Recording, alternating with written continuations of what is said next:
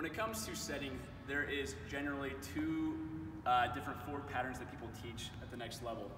Uh, the two most common are square setting and spin setting. And so you can practice both. Different coaches in the college level want different things. And so for you guys, we want you guys to be good at both and be able to apply whatever forward pattern is the best in the moment. So what we're gonna have you do is we call this again clockwork. Okay, we're gonna start first with spin setting. So you have a clock, so you go from six o'clock here 12 o'clock here. You need to go on each of the dial here and just focus on getting that ball. So first we're gonna go backwards.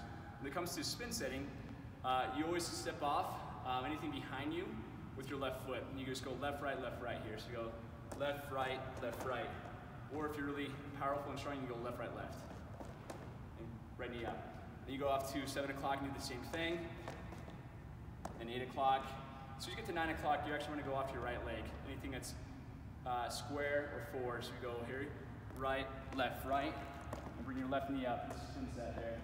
You got 10 o'clock, same thing.